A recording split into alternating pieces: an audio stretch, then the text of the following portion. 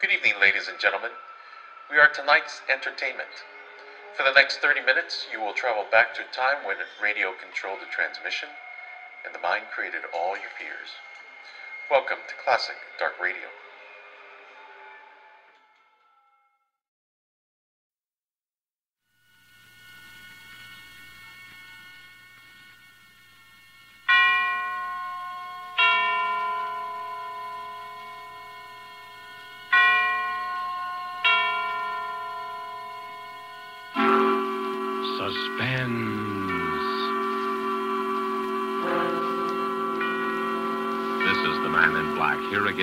Introduce Columbia's program, Suspense.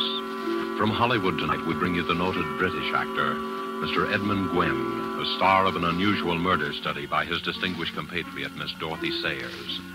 The story called The Fountain Plays is tonight's tale of suspense. Currently appearing in the Metro Goldwyn Mayer Technicolor production, Lassie Come Home, following such successes as Foreign Correspondent and the stage plays The Wookey and The Three Sisters, it is Mr. Gwenn's particular pleasure to embody on the stage and the screen the eternal middle class Englishman, the common man of Britain, and proud of it. The character Mr. Gwenn portrays in our play tonight, Mr. Archibald Spiller, conservative John Bull that he may be, has lately had a bit of luck. Mr. Spiller lives on a little country estate with a cook and a manservant, and in the garden, yes, a fountain. Of all these little luxuries, it is the fountain which pleases him the most.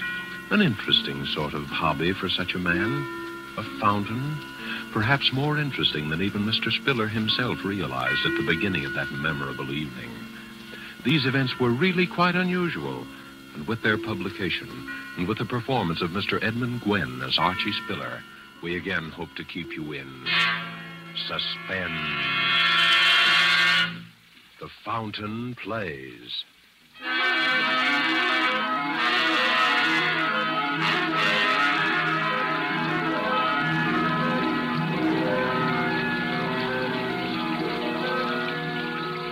Now then, Mr. Spiller, what about it? Ah, have a care of the fountain, Sam. Get wet if you stand too close. Fountain, you Yeah. and your blasted fountain, wasting your money on a doodad. Oh, it's not expensive, Sam. It's very ingenious, really. Uses the same water over and over again, you see? Don't try and put me off. What about it? Well, I told you I'd talk to you about it later this evening. Later, Hmm. later. Well, I want to talk about it now. I want a straight answer to my question. I've given Mr. you an Spiller. answer. You've given me nothing but bluff and bluster. Do I get it or don't I? That's what I want to know. And if I now, Gooch, don't... please, please. My guests are arriving. I'll talk to you tonight. You'd better talk straight, too. It'll be your last chance, my lad. Hello, hello there, everybody. You're just in time for a cocktail. Come in, come in. Master said we'd find you here, Daddy.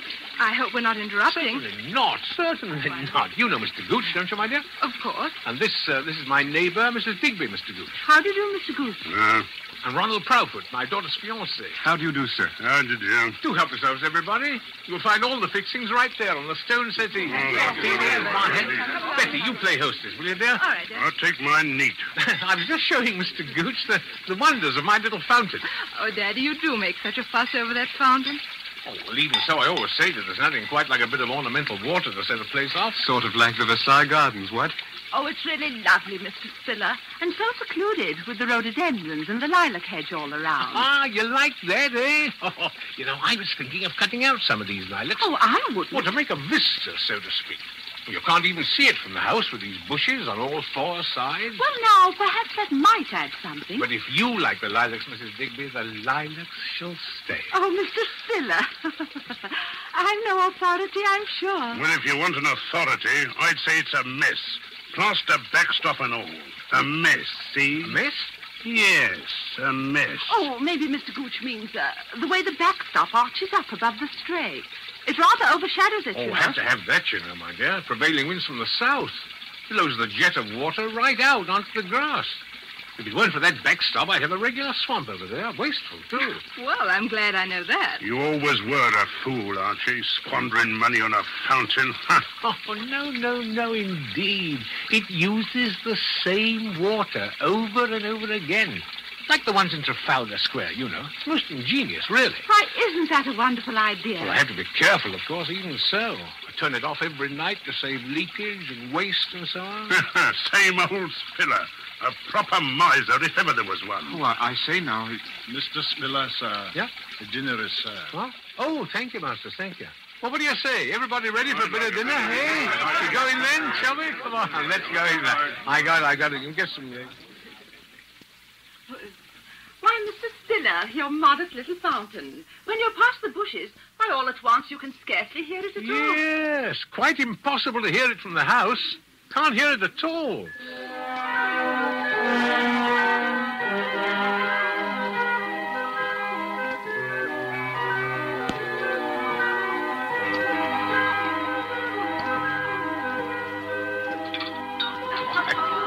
Another glass of port. Won't you have one, eh? Hmm? What is it, Masters?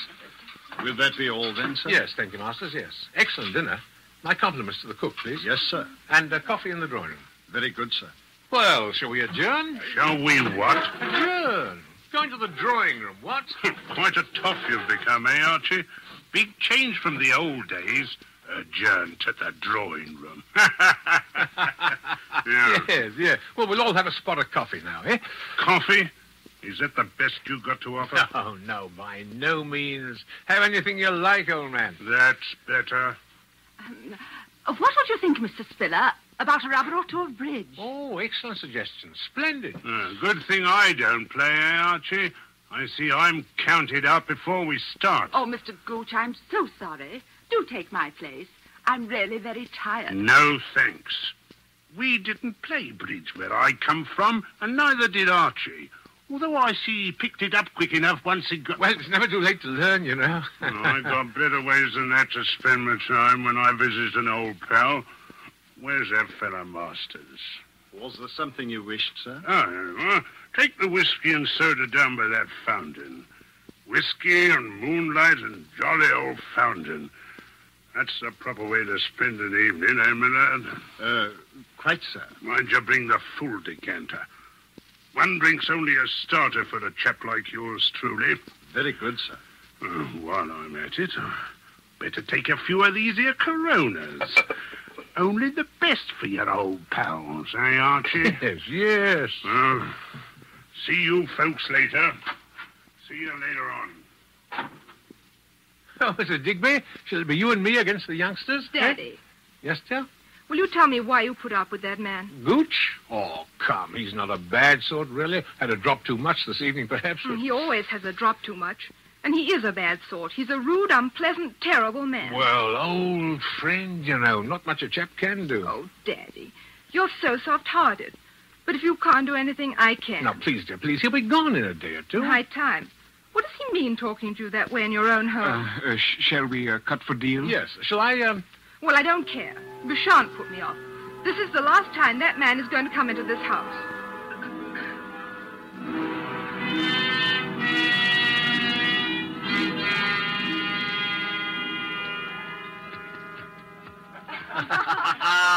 there you are. Game and rubber. I guess the old folks aren't so slow after all, eh, Partner? now, don't get Daddy all puffed up.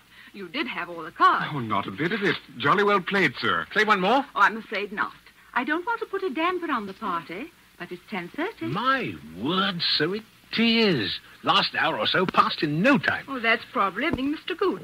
Oh, wonder where he is. I could guess. He said he was going out by the fountain. Dead to the world, that's what he is. Why, Betty. Oh, from drink, silly. Oh, of course. Well, I- I'm not superstitious, you know, but... Oh, I- Gooch will take care of himself, I dare say.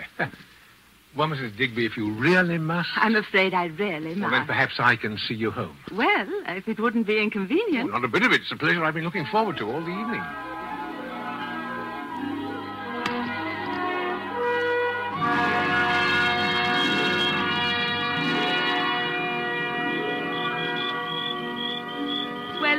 Are. Yes. It's been such a lovely evening, Mr. Spiller. Yeah, you know, I've been thinking I'm awfully lucky to have found a neighbor like you. At my time of life, I mean. Maybe it's not luck at all. It's fate, you mean? Eh, Mrs. Digby? Hmm? Or may I? May I call you Rosalind? Of course. And you call me Archibald, eh? Silly name, but it's the only one I've got there. All right. You know, it was true what I said tonight. that the place will be needing a new hostess soon. With Betty getting married, you mean? Hmm. You must be very happy for her. Oh, I am, I am. But what I mean is, I mean that, well, we're both alone in the world now, and, and Yes? uh, Rosalind, there's something I want to talk to you about uh, soon. I, I, I, I can't just now. There, there, there are arrangements I have to make, but, but, but I do want to talk to you really seriously. Well, I'll always be here, you know. Uh, but it, it's late now. Yes, yes, it is. Well, uh, good night, uh, Rosalind. It has been a lovely evening. Good night, Archibald.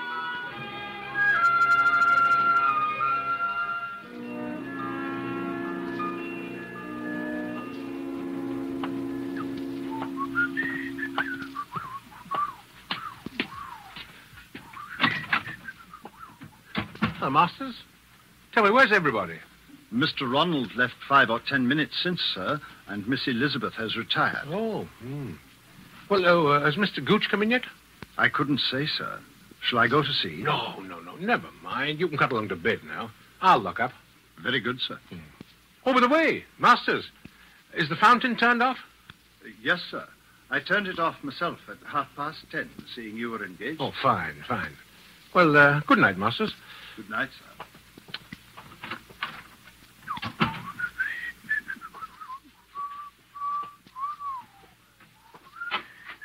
Oh, hello there. Just coming out to look for you, Gooch. Hello. You have a nice evening? A nice evening. Not as nice an evening as you had with the obliging little widow, eh? no, no, that's enough of that now, Sam. Oh, it is, is it? Hmm. That's enough, is it? Hmm. That's a good one. Do you think I am talking to me like that? One of your ruddy servants? Well, I'm not. I'm the boss here. Get that into your head. I'm the boss, and you know it. All right, all right. But buzz off to bed now like a good fellow. It's getting late, and I'm tired. Oh, no, you don't. Think I'm drunk, don't you? Oh, well, I'm not drunk enough so I don't remember the little business I've got with you. Well, can't we talk about it in the morning? No. We'll talk about it right now. I'm short of cash. It's high time you kicked in with some more. Now, look here, Sam. I pay you your allowance as we agreed, and you stay here whenever you like. But that's all. Oh, it is, is it? Yes.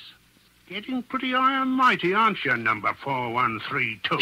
Sam, quiet, for heaven's sake. You're in a fine spot to tell me what you're going to do, aren't you? Quiet. The servants, my dear. Quiet. Betty, my dear, or Ronald Fatdoodle, whatever his name is. Sam, you're drunk. Sure, I'm drunk. I'm not an escaped jailbird, am I?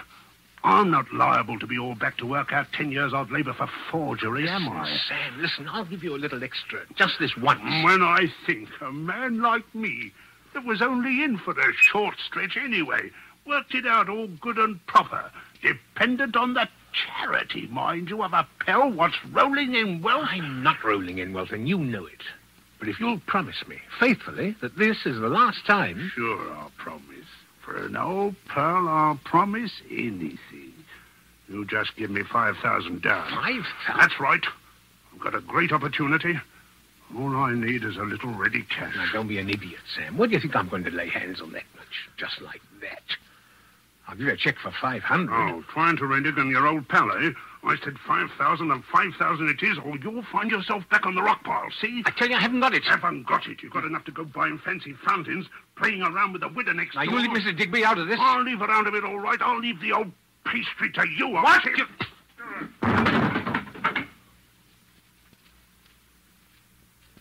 I told you that was enough of that, and I meant it. Now pull yourself together and go to bed. Go on. I'll talk to you in the morning. You hear me, Sam? Sam. Yeah, come on. Come on. I didn't hit you that hard, you know. Go on. Get up on your feet now, Sam. Go on. Sam. Sam. Sam.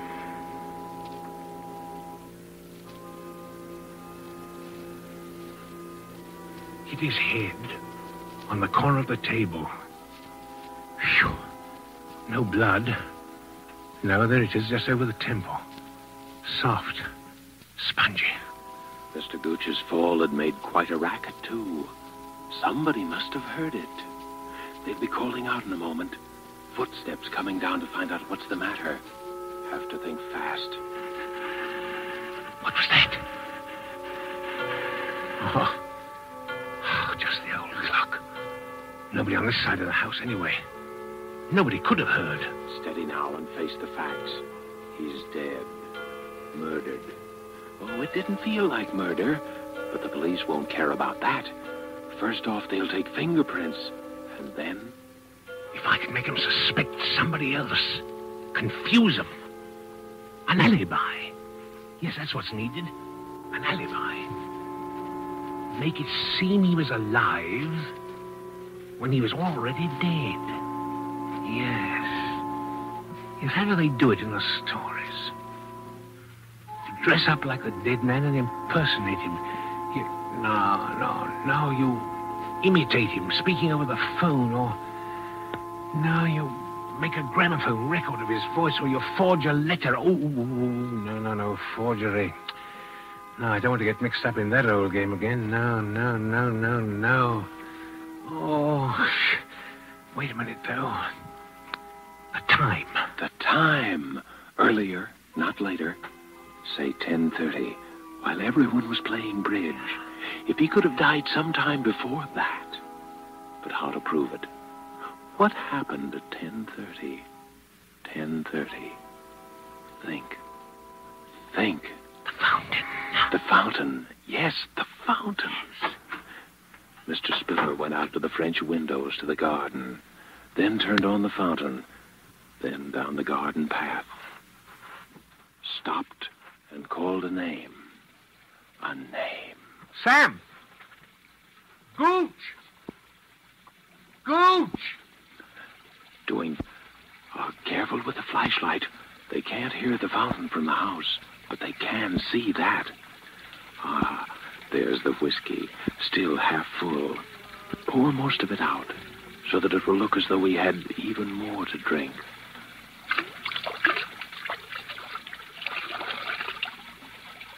Now back to the house. That'll do. Now back into the house.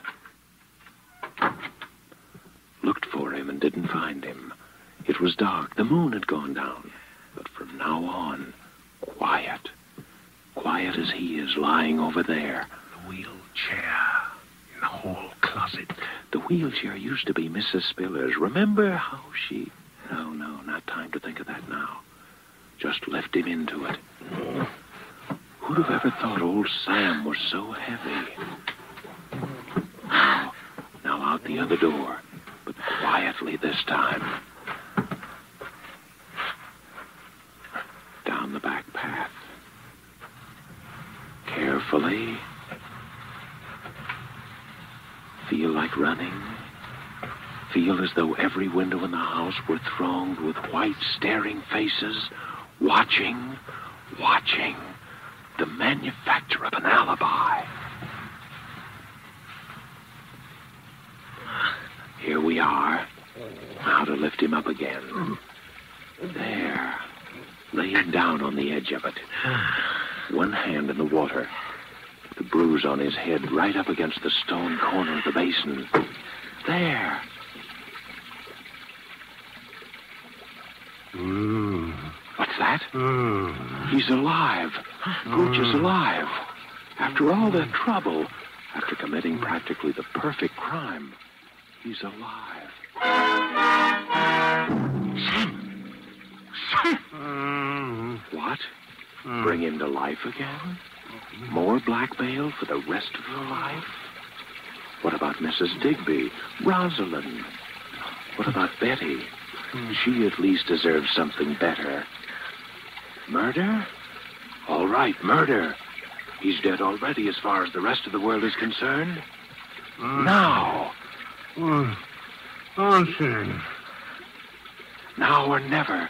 His face is right with the water's edge. Push him under. Now. Well, Now. Well,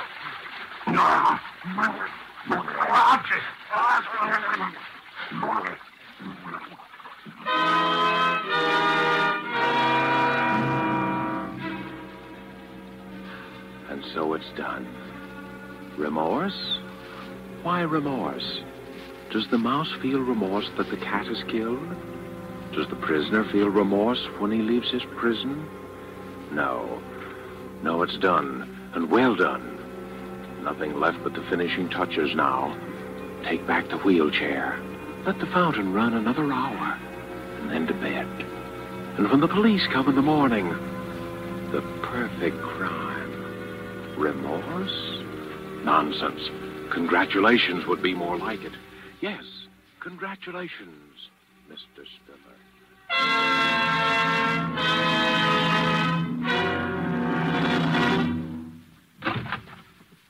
Inspector Frampton, sir. Eh? Oh, yes. Come in, Inspector. Come in. I hate to trouble you, Mr. Spiller. Regulations, you know. Of course, of course. Everyone here who was present the night of the, um, uh, that is, last night. Yes, Inspector, yes. It's Mrs. Digby, my neighbor, my daughter Elizabeth, her fiancé, Mr. Ronald Proudfoot, and the servants, of course. Excellent. Well, now, if you'll all bear with me, I have to ask you all a few questions, you know. But, Inspector, it- it wasn't... That's what we have to find out. You know, there was a blow on the head. Oh. Now, as I understand it, the deceased was last seen alive at about 8.30, just after dinner. Let me see. You were the last to see him, eh, my man? Yes, sir. I believe so, sir. You took the whiskey and soda down to the fountain in the garden and left it there with Mr. Gooch. And that was the last time he was seen alive by any of you, eh? Yes. This Yes, that's The right. four of you then played cards, I believe. Yes. Until what time? Oh, about 10.30? And no one left the room during those two hours? No, no, then, no. Mr. Spiller, you accompanied Mrs. Digby to her home. Yes. Is that correct, Mrs. Digby? Yes, Inspector. Now, when you returned, you were met in the hall by Masters. Yeah. Now, what time was that, Masters? About 10.45, sir. And Mr. Spiller at that time inquired after Mr. Gooch? Yes, sir. He asked if I had seen him, and as I had not, he suggested I might retire, uh, that he himself would lock the house. And the others had all left? Yes, sir. That is to say, Mr. Ronald had left. I heard him drive off in his car, and Miss Elizabeth had retired. Then you were alone in the downstairs part of the house. Is that so, Mr. Spiller? Yes. You tell me, please, what you did then? Well, uh, I was worried about Gooch. He'd been drinking quite a lot, and so I went to look for him. Went down to the end of the garden by the fountain. You didn't go through the lilac hedge to the fountain. No, no, it was dark by then. I couldn't see. I called Gooch several times. Did anyone hear, hear Mr. Spiller call? Oh, I did, sir. I was half asleep, as you might say. But I did hear Mr. Spiller call out. And then what did you do, Mr. Spiller? I came back into the house. Sat up in the library, read for a while, and about one o'clock I went to bed. Now, now this is very important. Who turned off the fountain? I did, sir. At what time? At 10.30, sir. You're quite sure of that? Yes, sir. It was the usual time. I see. And no one would have turned it on again, of course. I can't think why, sir. Ah. Well, I think that makes everything very clear, Mr. Spiller. Yes, yes. When the body was found, it was still wet from the spray of the fountain. Hmm. Therefore, death must have occurred sometime before the fountain was turned off at 10.30. and as all of you here were occupied till then, from, from the time the deceased was last seen alive... An accident, of course. I, I said so from the beginning. Well, might have been either, you know. There had been a blow, and there was water in the lungs. Well, the man apparently fell due to his intoxicated condition, struck his head, falling into the water, from which he was unable to rescue himself. Well, seems the obvious conclusion, doesn't it? Poor fellow. Well, thanks, everyone. I don't think we shall have to trouble you again, Mr. Spiller. Well, I hope not. And thank you, Inspector.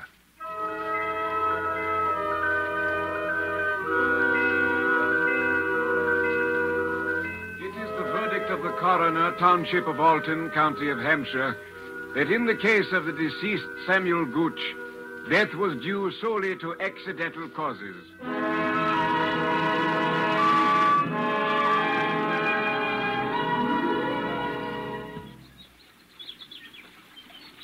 Oh, Daddy, I'm so glad. I was afraid for a while. Oh, there was nothing to be afraid of, dear. Poor old Gooch just lost his footing and fell, that's all. I know. I was afraid of him. Of him? I know it was silly, but he was so so strange. I thought he had some sort of hold over you. Oh, nonsense. Darling, just an old friend. And I'm a sentimental old fool. You're an old dear. But I've got to run now. What offered Ronald? Uh-huh. Daddy, are you going to be awfully lonely when I've gone? Oh, you know I'll miss you. Maybe Mrs. Digby. Now, now, now, my girl. Oh, oh, she's such a Oh, darling. she is rather nice, isn't she? eh? In fact, I, uh, I thought I might pop over to see her this afternoon, as long as you're going to be out. Daddy, I knew it. I won't keep you another second. Ask her over to dinner. Well, perhaps I shall. You'll be on time, though. I will. Bye. Bye.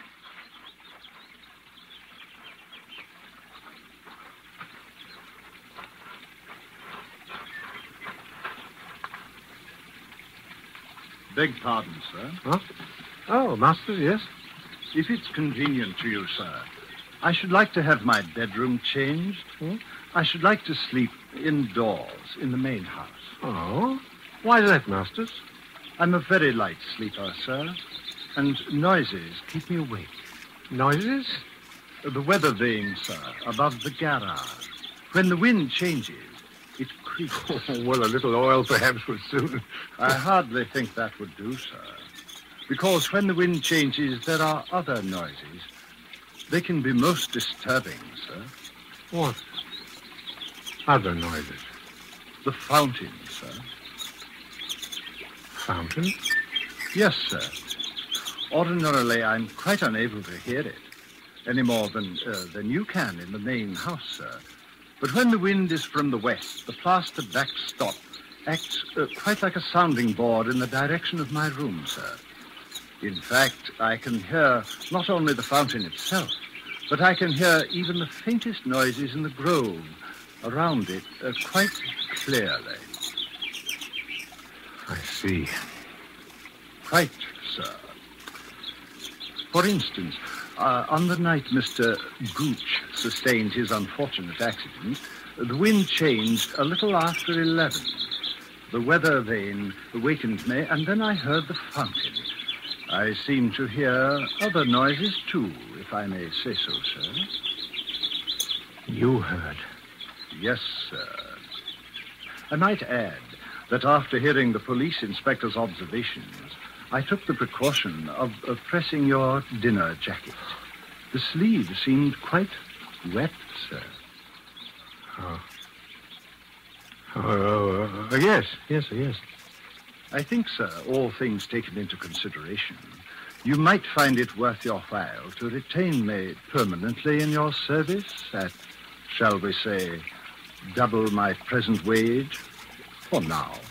Huh? Oh. Oh, yes, yes, of course. I'm very much obliged to you, sir. Is there anything else, sir? No. No, nothing else. I'm uh, going to sit here by the fountain. Very ingenious. The fountain. Yes. Most ingenious, my fountain. Costs so little to run because it uses the same water over and over again. Over and over again. Over and over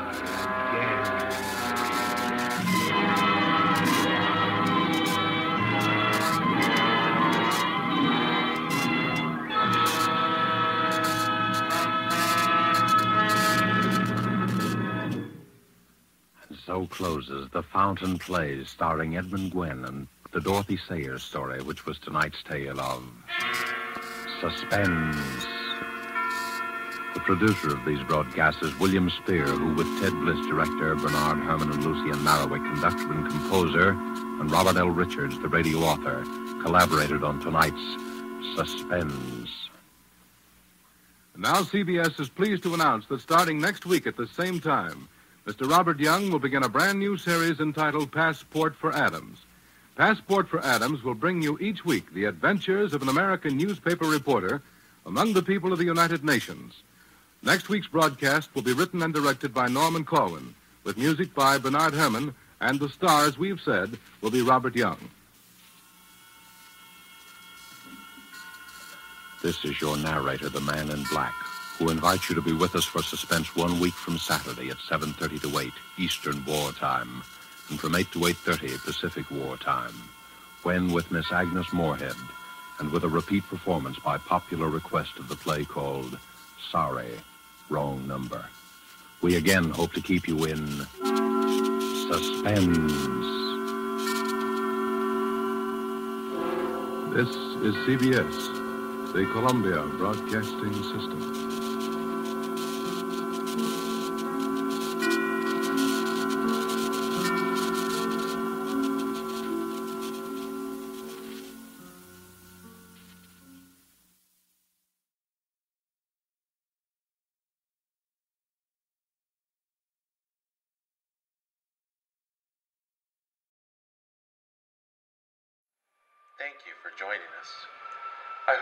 Enjoyed tonight's entertainment.